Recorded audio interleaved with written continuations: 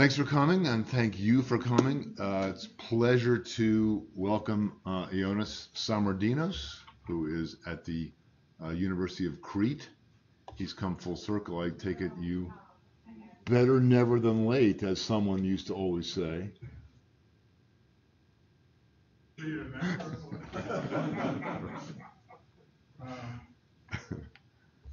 um, uh, Ioannis got his uh, bachelor's in computer science from the uh, University of Crete, and now he is an associate professor there. So that's a full circle. And it turns out that he got his PhD from the Intelligent Systems program here, and now he's back giving a lecture. And I just talked to him for an hour, and we had so many things in common. He's doing so much work uh, that's exciting to the center that um, I am resigning as the Dean of Humanities and Social Sciences, and I'm replacing myself with him.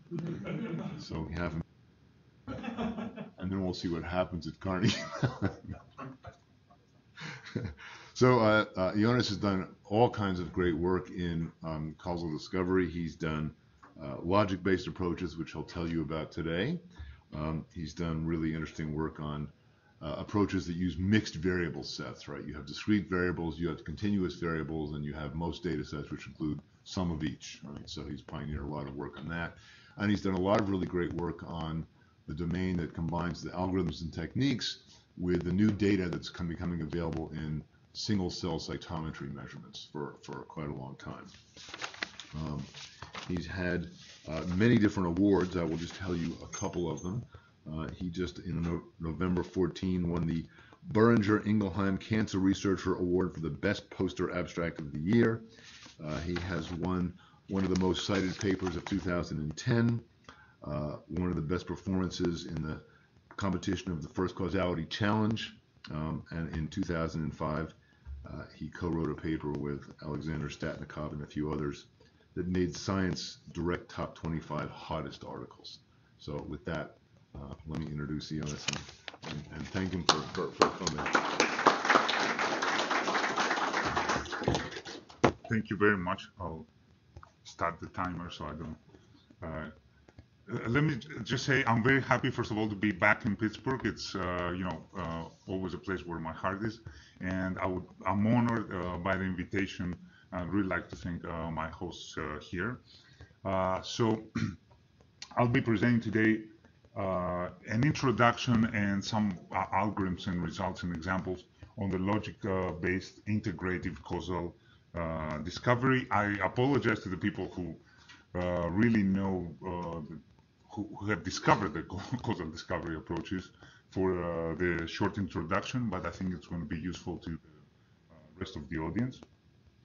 So the basic idea is uh, first of all, that, that usually we have a lot of data sets, and the typical scenario in science is that um, several uh, scientists measure the same system. Um, actually, I, if it's okay, I need to move. Uh, I had too much coffee. Okay, uh, so imagine uh, a doctor measures, wants to study breast cancer, and they have a cohort study, and they measure some potential risk factors and the same uh, thing is true for a, biologist who measures mostly uh, studying the same disease but with uh, molecular quantities. And then maybe some other uh, scientists perform clinical experiments. So here you have some data that comes from uh, manipulated uh, an intervention distribution measuring different things. So you can see here, if you pull all the data together available from this system, that have big blocks missing. And in statistics, these are called missing by design. Uh, it was never intended, never, uh, people didn't think about measuring them. So it's a special type of missingness here. And the other thing is that uh, this distribution, since you intervened upon the system, is different than this one, even on the common variables. Okay, so um, what people usually do is analyze each data set by its own right. Okay, so this doctor is going to find some, for example, correlations and call them uh, risk factors. Uh, same thing for this um, uh, biologist. And here, because we have a randomized control trial, maybe uh, find some causal causes. But in any case, what happens is these results are published, and then the human brain has to read that and try to figure out what is happening in a human. Okay? So can we do better than that? Can we actually learn from all these data sets that are different, different distributions, measuring different things at different conditions? And uh, we know that the data cannot be put together uh, because of, uh, first of all, missing variables, and secondly, because we have uh, different experimental conditions.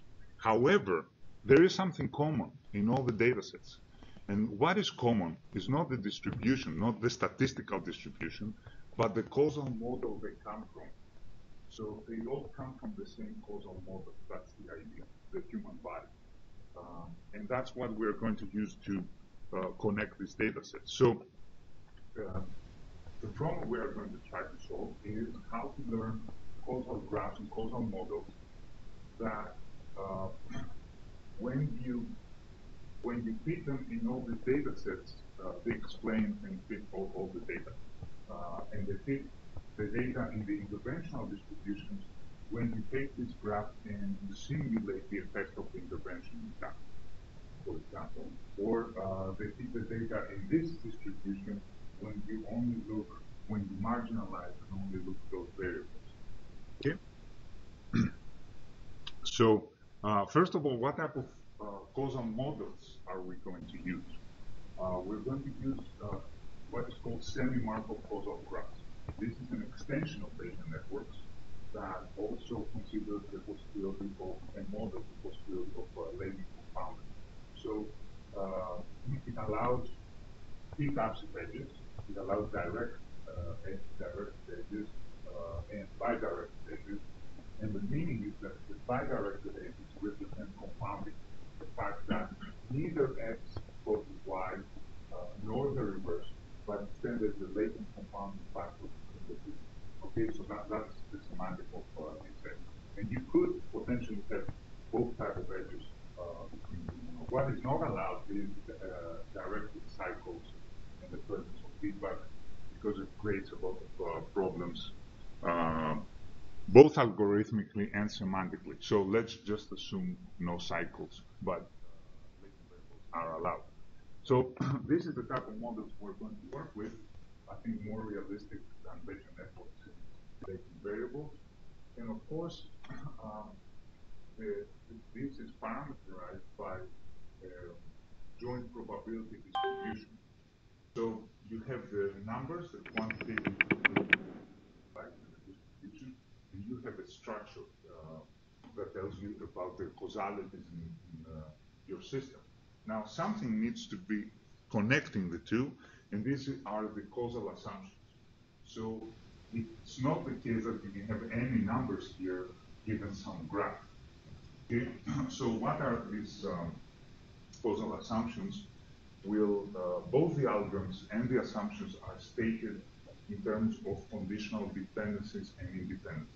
Okay, so uh, an independence means essentially, if you, if you look at it like this, as an equation in probabilities, that uh, you, you have some belief about the distribution of x when you know the values of z. And if you additionally give information about y, some extra information, uh, these don't change. That means that y gives no information for x uh, when you know z, and vice versa. It's uh, symmetric.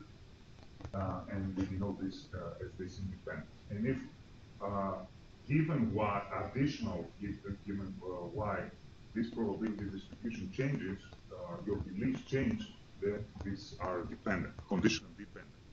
So formalizing causality, uh, the basic assumption, uh, technically uh, informally uh, stated is that every variable is independent of its non-effects given its direct causes. So um, this is not very intuitive, but it encompasses also uh, some some more intuitive notions that we have about causality, namely that if you know the direct causes of a variable, then indirect causes doesn't give you additional information it's a special case of this rule. And also that if you know the direct causes of a variable, confounded variables don't give you extra information. again, this, cap this rule captures both cases. So let's see, if we apply this rule uh, here, for example, for z, it tells us that uh, z uh, as a variable, given its direct causes, so given x, is independent of its non-effect. Uh, it doesn't have any effects, so everything else is a non-effect. So z is independent of y given x. Okay, uh, so that's uh, what we can infer from the assumption connecting uh, the graph with something that we should see in our data with dependency and independence. And the second assu major assumption is that uh, what is called the causal faithfulness assumption is that these are the only dependencies that you have, the independencies that stem from the causal structure uh, graph.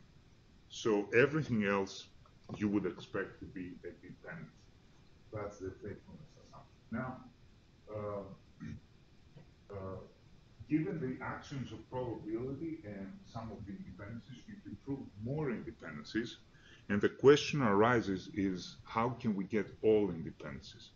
And uh, these are given by a criterion that is called M separation. It's a graphical criterion which looks at the graph and tells you uh, what independencies you should expect in your data based on this graph, on this causal graph. So uh, this is the M separation criterion that I'm going to quickly uh, review and uh, define.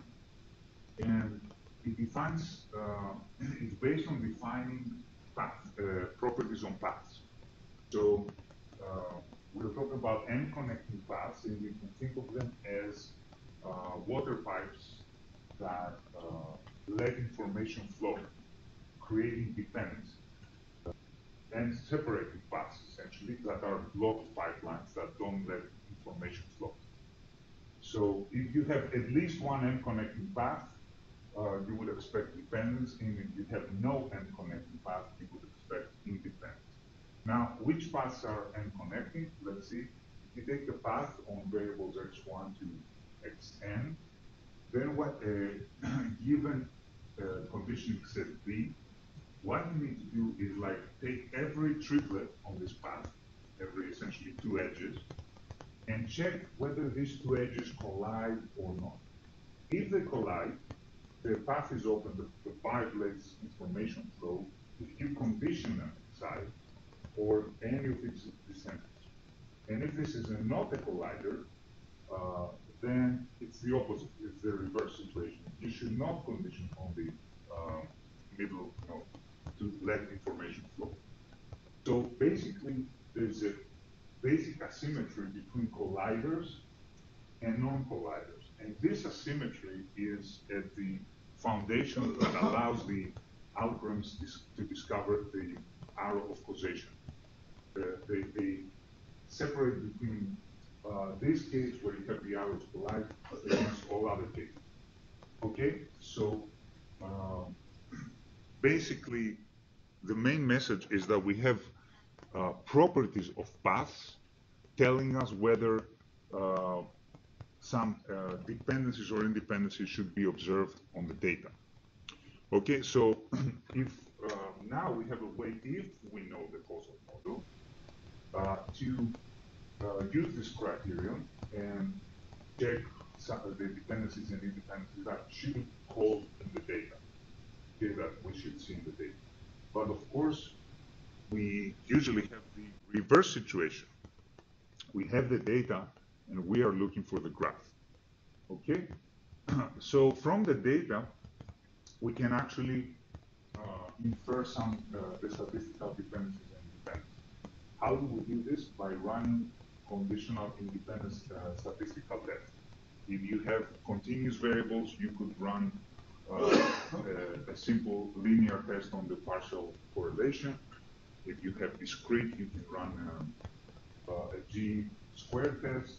If you have uh, a survival variable, you can run a Cox regression-based test, and so forth.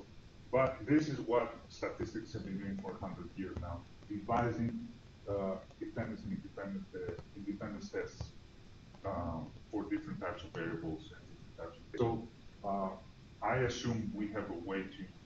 Now the question is like, how do we go to the next step from here to here to a graph that um, uh, is consistent with these dependencies and dependencies? That's the problem. And the problem becomes even uh, more complicated because we could have lots of solutions that are equivalent, but uh, lots of graphs that entail the same set of dependencies. Uh, and unfortunately, uh, for some types of graphs, the set of solutions you can represent compactly with another type of graph. But for semi-Markov causal models uh, that we work with here, you cannot represent this set of solutions with one graph. Okay, so um, as I said, now uh, these independencies correspond, as we said, to the presence or absence of m connected paths. So you have the data, you find the dependencies and dependencies, and you know the existence or absence of some types of paths. And you're trying to find all the causal models that are consistent with that. And um, there are uh, sound and complete algorithms to do that, such as the fast causal inference algorithm uh, discovered here that, that can do that efficiently. Um, but what is more difficult, of course, is when you have lots of different and heterogeneous data sets. That's when the big problems, or at least the new problems arise. These data sets measure overlapping variable sets. They don't measure the same variables.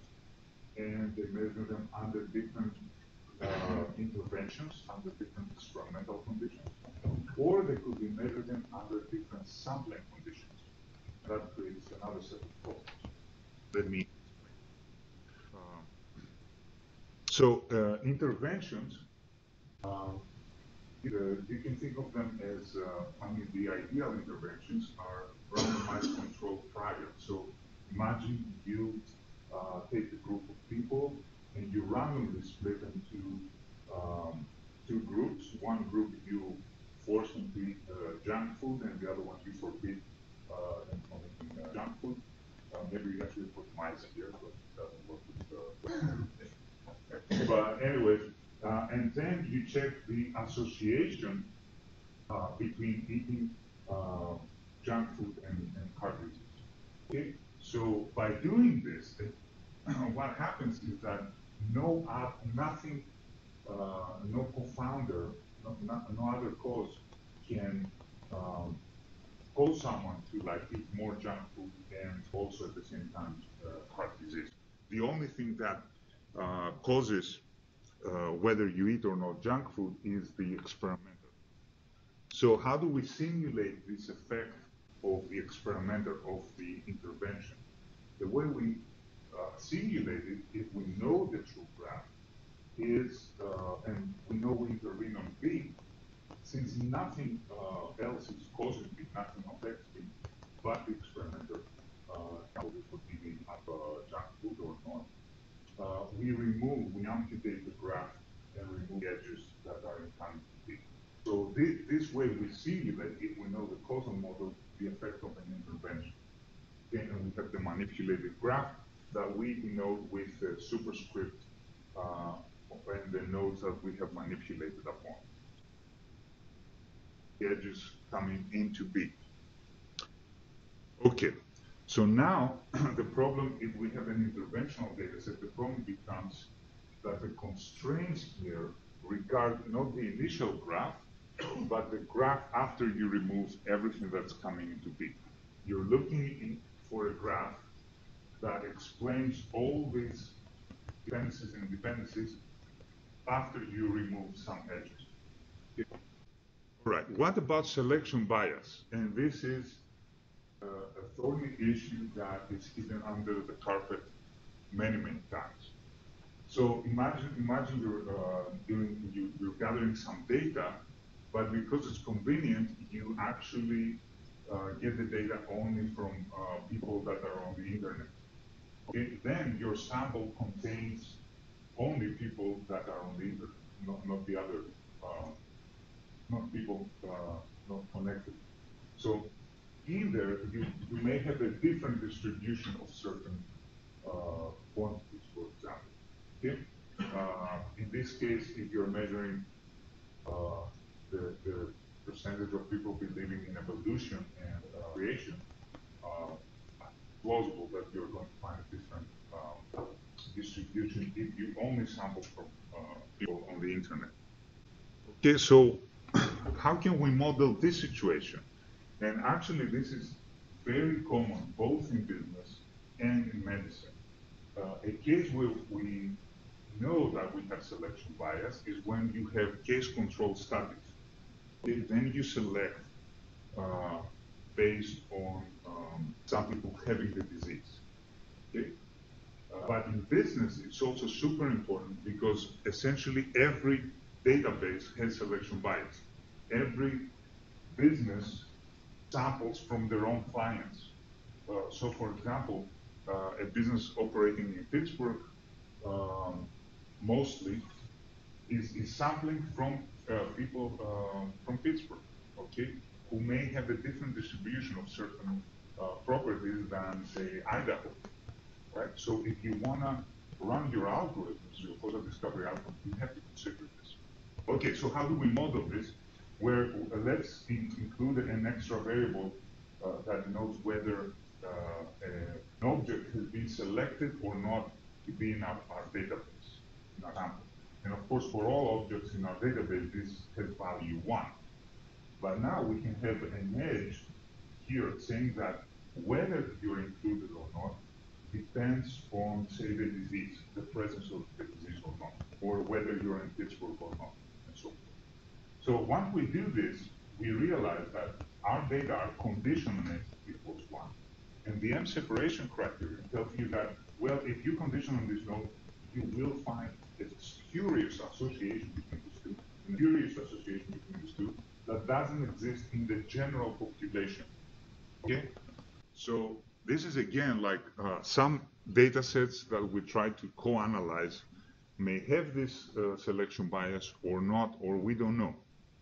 Okay, so what we need to do is actually, again, somehow encode in our constraints that we're looking for M connecting paths or uh, M separating paths, not in the original graph that we're trying to find, but in the graph after we take into consideration that we condition on S. Okay. All right, so putting all this together, we just need to find a way to impose these constraints. Uh, the fact that some M connecting paths are there or absent, after we consider selection, after we consider manipulations. And the way we do this is, that's the, the basic idea. Uh, you should get a hint by the title of this talk, logic-based uh, causal analysis, that we convert them into logical constraints. So here I have some propositional variables. There's it's zero or one, uh, denoting, uh, and it's, it's one if it's one, that means that the edge A to D exists in the causal graph. Or um, this could be a bidirectional edge, for example. Okay? So, uh, as I said, from the data, we have independencies, they denote some constraints on the path, and then we need to find a way to turn this into logic. And solving this problem will give us all, will correspond to the causal graphs that are uh, plausible and fit our data. How do we do this? Let me show you an example. Let's say this is, uh, we have three variables and we discover one independence, A to C, given the empty set. Now we know that this means that if we take into account the fact that, um, uh, and, and we manipulate B, this means that if we, we're looking for a graph such that when we remove the edges to B, there's no M connecting path between this and this given the empty set. So uh, this edge shouldn't be there, okay, because uh, otherwise, no matter what, these two would be M connected, uh, which means that this is not true, and this is not true, and this is not true. And another constraint is that this path shouldn't be there. because if it is, even if we remove all edges incoming to B, there should still be an M connected path. So we exclude this possibility too, and these are the only possibilities, actually, case. And we end up with this logic formula. Now, um, also, uh, let's see a solution of this formula. Okay, uh, we have nine variables, essentially uh, three possibilities for uh, of edges for three for every pair of variables. So these are all our propositional variables. This is a truth assignment that solves the propositional uh, formula that we have, and it corresponds to this uh, graph. So this is a graph that after you remove all edges uh, into B, uh, it gives you this independence, entails this independence. And if you generate all truth assignments that solve the constraint, uh, you get all solutions. Okay, so um, the algorithm uh, or the general approach, like the template, first of all, that you perform as many tests as you want or you can or you have time for, and you discover as many dependencies and dependencies you can from the multiple data sets. So the input is, the first input is whether any dependency exists or not. Then you also need to encode meta information about your data set. What is this meta information? Is whether some variable was used, was manipulated or not, or we don't know. Okay, so for each variable and data set, you dictate whether it was manipulated in that data set, or it was manipulated, you know it wasn't, or you leave it unknown. And uh, the same is uh, for whether a variable has been used for selection or not. Uh, or otherwise you leave it unknown and leave the possibility open. And on top of that, you could include constraints uh, that uh, about prior knowledge. You can say, for example, that, well, I know that this gene is regulating that gene, maybe directly or indirectly. So that corresponds to the presence of the path in the graph you're looking for. Or uh, in a business application, you ask the people and they tell you, uh, well, I, I, know that the latency or in of experience application that we work on, uh, people know that the, the, latency of the network causes someone to, uh, or the quality of experience lower. Okay, so you you can encode you can encode in the algorithm this type the presence or absence of these uh, paths or edges. And how do you encode them? You encode them by using this uh, propositional variable. So uh, this notation here denotes a proposition, the propositional variable that in the graph I'm looking at uh, for, x directly causes y. If it takes the value of false, that means the edge is not there. If it takes the value of 1, that means the edge is there. Uh, this is bidirectional edges.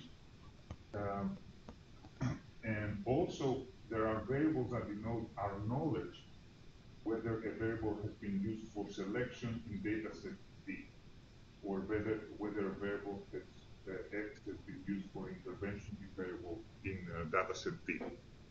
So the, um, the input to the, the algorithm is uh, our knowledge about dependencies and independencies encoded in these variables, denoting whether X and Y are M connected in uh, given Z data set D. The truth assignment to these variables about selection and the to these variables uh, our knowledge about the interventions. So you set the truth values of as many of these variables as you want then the logic program is going to determine as many of the values of the other uh, the other variables as it can. And how does it do that? With this logic program here. So this is an instance of an algorithm, a, causal discovery algorithm, written in uh, first order logic. Uh, it's the APO algorithm we just presented in KDD. Uh, actually the guy who discovered it, who the coding is uh, over there. Yorgos Borboudakis. So let's see the constraints. Uh, some simple constraints. Uh, X has an indirect path to causal path to Y if and only if X uh, has an edge to Y, or there is another node U and X causes U and U causes Y. For example, that, that encodes essentially the properties of ancestry. And this constraint, uh, logic constraint, encodes the properties of uh, the constraint of acyclicity. Then this contingent constraint code in logic the M connection criteria. Okay, so the definition of M, M connection and M separation I show is encoded here in logic. So you input all your knowledge, and then you can ask, like, can you prove that, uh, say, uh, this edge exists in the graph? In any graph, that satisfied all my um, that fits. Okay, that's that's a basic idea. Now, if you actually try to do that, I mean, you could, and as you can see, uh, you can write an algorithm in literally 10 lines of code, of logic code. But there are lots and lots of technical problems. Uh, I'm not going to go through much detail, but everything in this problem is exponential. Okay? So there's an exponential possible number of dependencies. There's an exponential number of paths and corresponding constraints. There's an exponential number of solutions. All right? So it's not going to scale up, but there are certain smart things one can do. Uh, for example, uh, what some algorithms do in this area instead of like trying all possible dependencies, is to try only the ones that FCI would. Uh, and, and probably for the specific data set, you, you're going to be fine. Um, another thing is to limit the conditioning set size. So you don't condition like on 50 variables, just a, just a few. Usually that's enough in practice.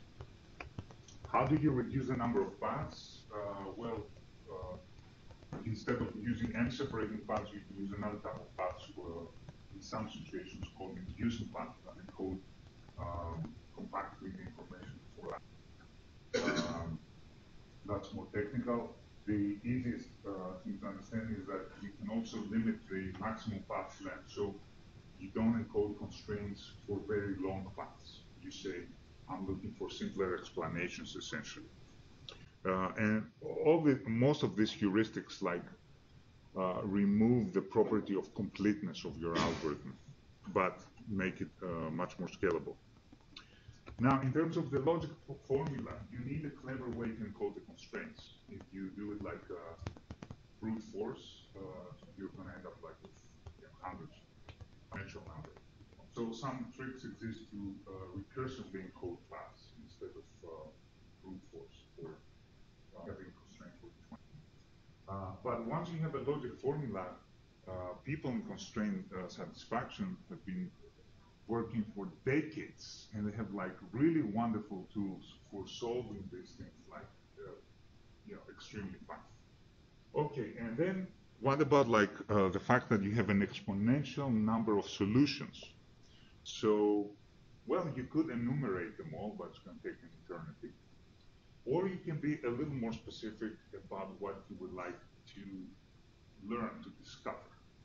Uh, we call this the, the query-based approach, if you like, to causal discovery. So um, you query for a feature that you care. You, you say, can you prove to me that X causes Y? Or can you prove to me that, uh, directly or indirectly, or that it doesn't cause Y? So you, you pose specific queries about features that, that you care. Um, one, uh, another way to summarize some of these queries to look at pairwise relationships. Ask like, uh, does this always, in all my solutions, can you prove that in all my solutions causes that? And yes, you put a solid edge. Uh, and if uh, in no solution this causes that, uh, for example, in no solution directly, then you don't put the edge And otherwise, if in some solutions this is possible in some solutions, but uh, not in others, then uh, you have a dust edge. And this way, you at least summarize the pairwise relationships. So solid edge is present everywhere, dust edge is present in some solutions, and um, same thing for uh, endpoints. Okay. Another big technical problem is that you, when you take the logic-based is that you may have conflicts. because uh, almost, you know, purely mathematically speaking, you will have statistical errors in large problems. So uh, then that means you have an unsatisfied formula. What do you do? Okay, uh, again, it's a big problem, but uh, very quickly the idea is to convert your p-values from, from this test into some sort of uh, probability. And then, uh, since you cannot solve all of these constraints together, just try to find a subset that you can satisfy. Uh, for example, one easy way to find a subset is to start like satisfying as soon as you find a, a uh, constraint, you throw it away and you continue. Or you can be more fancy and try to solve an optimization, a constraint optimization problem, but uh, at the expense of uh, much, much more computational overhead. Okay, so the existing algorithms, uh, first of all, this approach we, we started in 2010, and as you can see, like from the list of papers here, um, it, uh, lots of algorithms have uh, appeared since then, and it keeps growing since.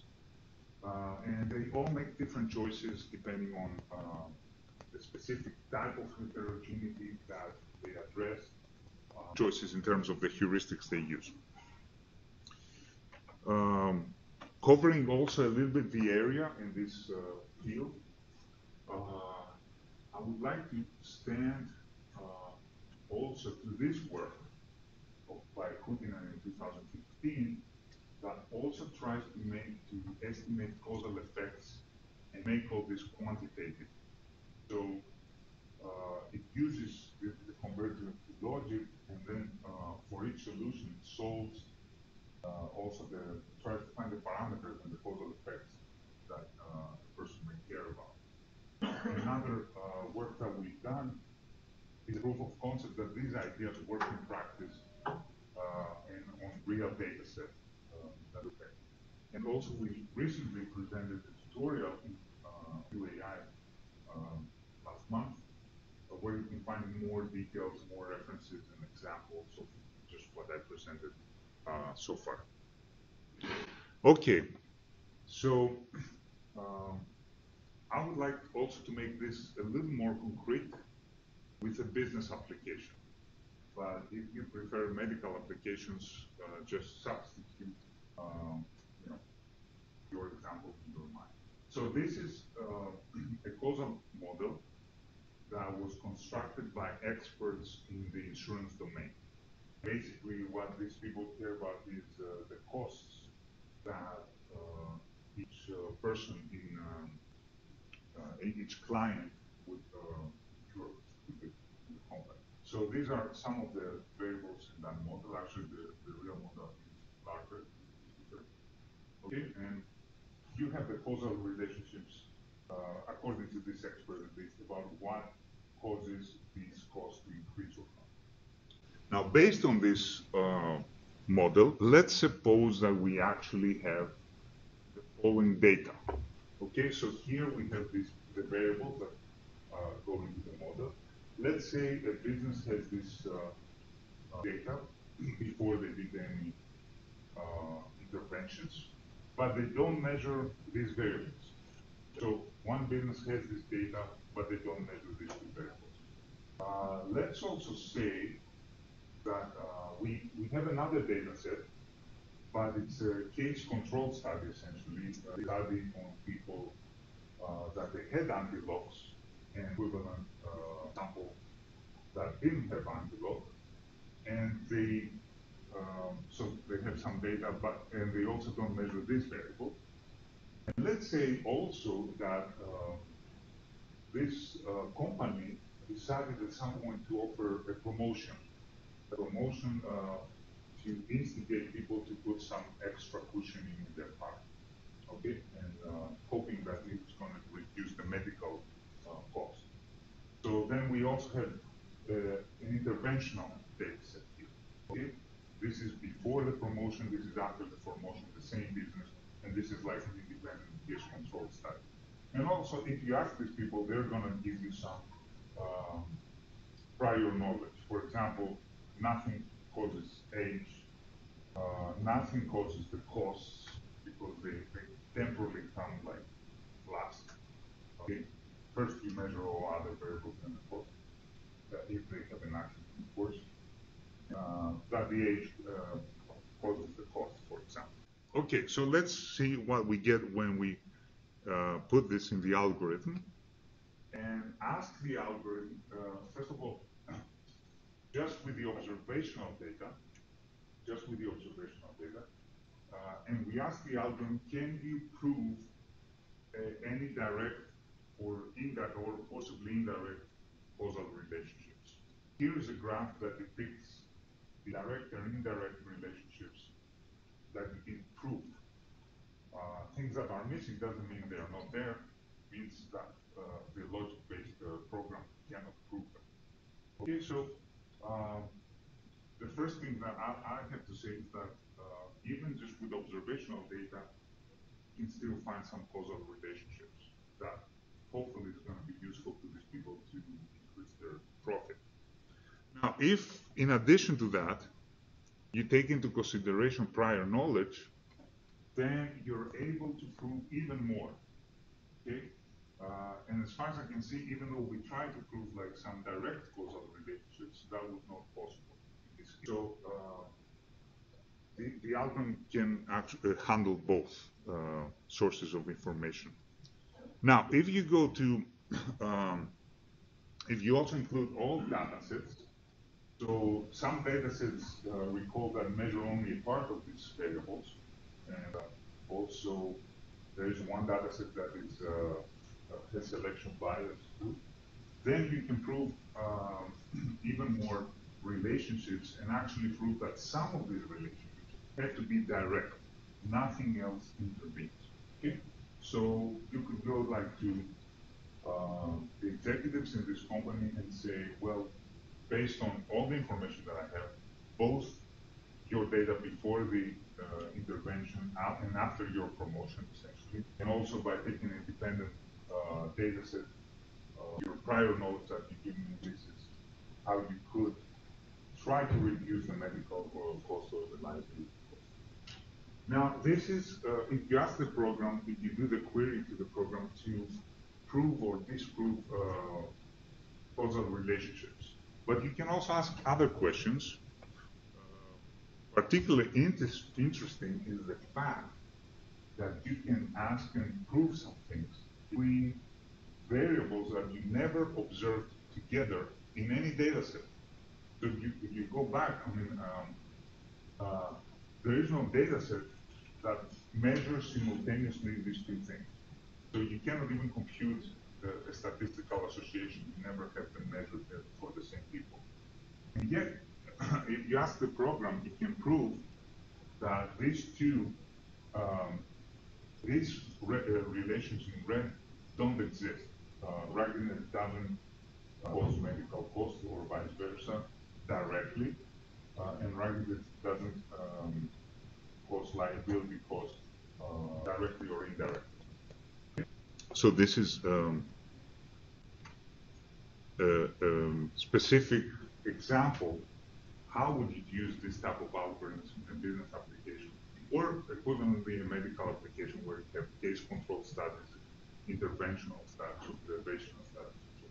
Okay, so um, key points is that we have different distributions. We cannot just naively pull them together, but they all come from the same causal mechanism. We change our perspective. We're looking for one causal uh, mechanism that fits to all data sets. This way, we can handle uh, data sets that measure different things under different conditions perhaps under different and also include uh, causal prior knowledge. Uh, we need to identify all the solutions um, implicitly at least, and uh, query the system whether in all, all solutions agree or not on. Uh, we exploit the fact that you know a, a lot of researchers have built like very fast uh, satisfiability or answer set programs for some other logic-based engines, at least 40 years now. Okay, and with the vision that actually we can do causal discovery in practical applications, taking into consideration all sorts of uh, sources of data and knowledge. So, having said that, I would like to really acknowledge and credit uh, all my team in uh, um, and also um, collaborators that um, and, and, colleagues that have given um, feedback on uh, parts of this presentation and the funding. Having said that, if you'd like, I can also give you a sneak preview on some of the things that we work on in the lab. If I do, I have a, a few minutes. Okay. So first of all, like on this direction, there's really lots to be done, and one is scalability. Okay, because uh, so far, for the most general scenario, we can go up to 10 variables, 15 variables, and that's it. Uh, and relaxing assumptions, improving robustness, uh, making quantitative predictions, incorporating information and data uh, about time, uh, and so forth. And actually, we we are going to apply this to a real life insurance problem uh, commercially. So um, hopefully, you know, it's going to work. We'll, see. I'll let you know. Okay, uh, in terms of feature selection, uh, we also have some progress, and feature selection is very connected to the, um, it's a first step to many causal discovery algorithms. So we have extended the forward-backward selection algorithm uh, to by one to three orders of magnitude in terms of speed. Also, to be able to return uh, not a single solution, but all equivalent solutions we find it uh, misleading when you do um, when you try to find, for example, the risk factors for a, biosignature. You go to the biologist and say to the biologist and say, it's these five genes that uh, diagnose your disease, when in fact there may be other sets of genes that are equally good. Um, so we try to return all um, possible solutions and we extended also the algorithm for big data. And when I say big, dense data, uh, meaning like tens of millions of uh, rows, tens of millions of columns running in parallel on the cloud and uh, Spark. So this is coming up soon. Uh, also, uh, we take a different approach to causality, which has to do with what they do in engineering. So in engineering, physics, and all of the um, other uh, sciences, uh, they model causality with ordinary differential equations or partial differential equations or even stochastic differential equations. So we have an algorithm that uh, tries to learn the ordinary differential equation from data. So far, most work has been focusing on uh, given uh, a known system to estimate the parameters, but we also want to estimate the physical laws, the equations that dictate the system. So this is uh, also uh, up for uh, submission. Uh, we have an R package where we try to implement these algorithms. Uh, so we, the R package so far has our, our, some of the algorithms for variable selection also focusing on being able to use it with uh, mixed data, uh, including survival data, survival analysis, including uh, time course data, so you can actually do uh, variable selection, selecting trajectories uh, that are uh, performing conditional dependencies on trajectories, like this condition on this trajectory, of the gene um, the, this uh, gene becomes independent of some other one. Uh, and also this algorithm can find like multiple uh, solutions that we efficient. and soon we'll have like also more uh, and better causal discovery algorithms in the package too. Um, another very important direction that we work on is automating machine learning. I think like um, have more data than people to analyze them, so we need to do something about that. And what we've done is uh, build uh, software that uh, give the data set and automatically like select the best algorithm, figures out uh, the best parameter sets, uh, it for and so forth. In, the near future, it's going to be uh, on the cloud. And it's going to parallelize all of that stuff and has other tricks like caching and periscoping and like that to make it like uh, much more faster and computational um, efficient. Okay. And also, we are building um, a tool where you can load your single cell data and uh, visualize the application uh, causal discovery algorithms. One this tool uh, with an open architecture, so if you have a causal discovery algorithm, you can um, uh, put it on the tool. It's going to appear on the drop-down menus, and you can run and visualize your uh, the result. So uh, right now we focus on mass cytometry and flow cytometry single cell data. We will extend it hopefully to other types of single cell data, eventually maybe to other omics uh, data. You can do some um, simple uh, analysis like the association networks or find the indirect associations and so forth well. but also in the end, you can uh, run some uh, basic causal discovery algorithms. Uh, okay, so these are some of the stuff that we're working on. Um, I, also want to mention because later on I'm meeting with some of you and maybe you would like to discuss uh, further some of these uh, directions. Um, okay, well, that's it. Thank you very much. I'm ready to take your questions if there are any.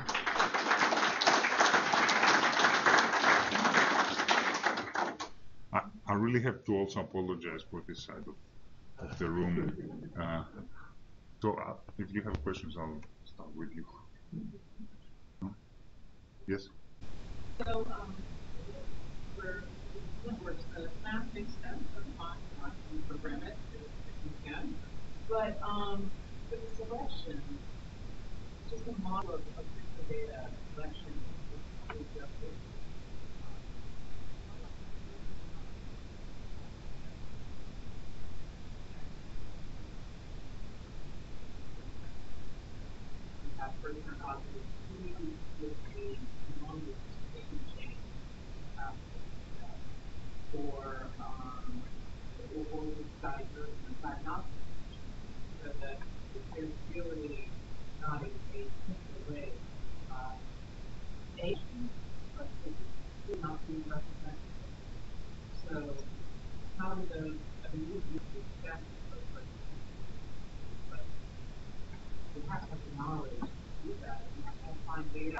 the idea is that the problem that I see with uh, integrating data that I see and because people have tools is that they're fundamentally the fundamental apples and orange. Apples and orange. Not talking about the same. Yeah. Um, actually, Judea Pearl also mentioned in one of his uh, papers that meta-analysis is like comparing apples and oranges to make inference out bananas. So yeah, people have been doing that. Um, okay, so I guess the question is uh, in a specific domain like uh, breast cancer, you have different types of heterogeneity, if I understand correctly, meaning like different uh, diagnostic tests and um, different um, treatments and, this stuff. Uh, well, in terms of different treatments, I think uh, it could fall into this uh, direction because it's a different type of an intervention that you're using. So you, just have data and you model the intervention with one drug and then gather data the model. Uh, But obviously, yes, this approach doesn't handle the native. Just- Some sort of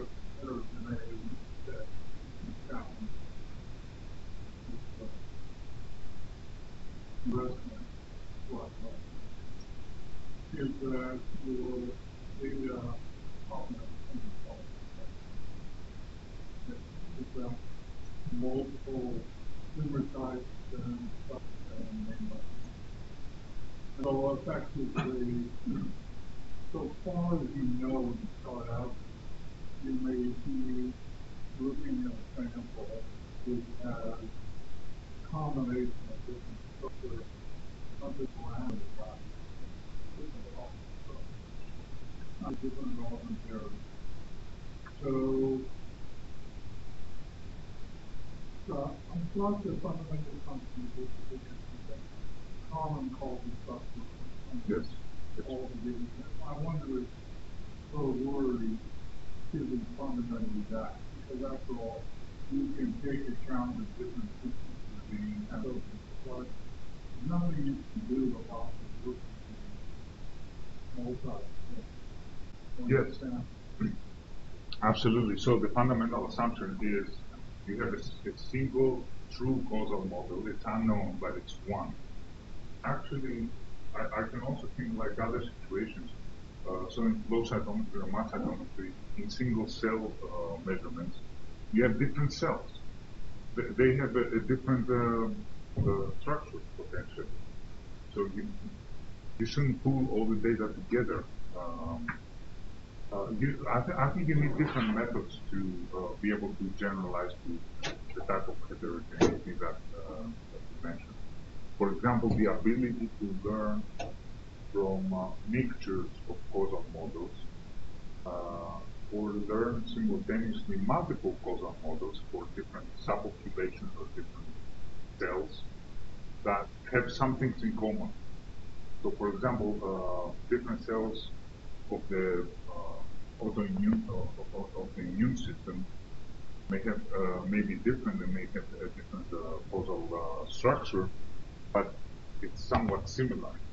Okay, so how can you like um, make use of these similarities um, better than than independently?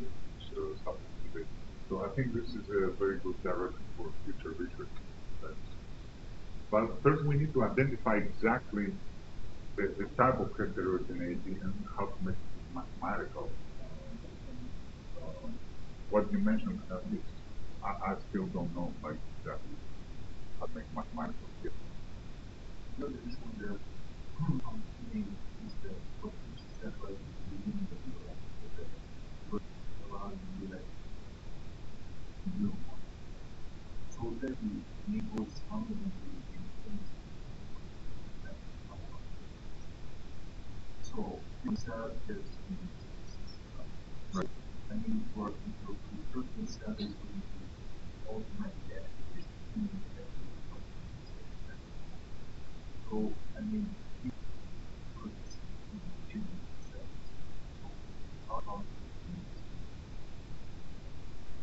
Yes. So, um, the question is what happens with feedback, particularly in uh, biological systems where it's pervasive and omnipresent, I would say. Um, This is what we came to discover ourselves also. Uh, but it was not obvious from the beginning. I mean, maybe it was obvious that there is feedback, but it wasn't obvious how serious it is, whether uh, the methods would still work, uh, even in violations of these assumptions. So, well, the first thing that I have to say is that there exist algorithms that try to handle feedback based on this approach, and they allow uh, cyclic network. However, uh, you have to make the assumption of linearity able to handle feedback. If uh, relations are not linear, then you may have chaotic systems and the separation criteria doesn't hold actually a nonlinear system. Um, so, because of this problem, it is exactly what prompted us to try kind of totally different directions, uh, like like this one. So develop methods that try to learn differential equation models that can handle. Okay, uh, what we will have to do in the future is try to marry these two approaches. Uh, nevertheless, in the in between, one thing that uh, one could or should do, like to handle feedback, is to get temporal data, uh, use uh, dynamic Bayesian networks or dynamic versions of uh, algorithms. But I think without temporal information uh, in systems that have a lot of feedback, you know, you would agree or not? No. Okay. I believe in the Otherwise, I think it's so Okay. True, but you can have your priors, can you? Okay. Other questions? Yes. Ah, Uh, I was Tim. wondering, actually, with the discussion that went on earlier about players maybe, I was wondering if you thought about or if there's been work on net representation, so the, uh, element approach. Image So representation. if you have a, a multi-net, uh, that represents the different causal structures that they're discussing are different graphs, um, and you present them together as being the localized about this structure because one variable alignment. You have some variable which says collision one, collision two, collision one, the graph. That's represented in one larger graph. Just click on that row.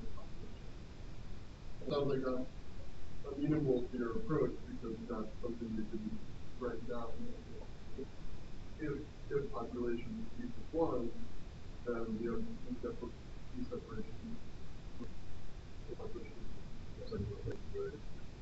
Yes. Or maybe, maybe So are you are you talking about how to extend uh, this approach to? So the problem with it, Yes. yeah, it doesn't, it could be latent or it could be. Right. The question is like, uh, did you assume anything about the commonalities, or did you treat them essentially as totally independent problems? Because it sounds to me you're just you you would get uh, the exact same results as if you were trying to learn independently completely.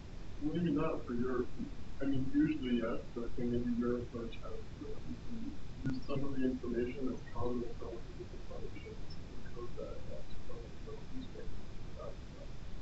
As uh, you mean uh, prior knowledge uh, that, that you would like to? if you know that, you know, population one and population two are different in a lot of ways, but in both of them, um, X is be connected to Y. You can encode that the string, and now you have information from both that needs to be satisfied. So, so some extensions that are really uh, I think interesting is uh, first of all handling uh, mixtures of distribution for uh, distributions that should come from similar uh, networks, but you don't know how similar like that.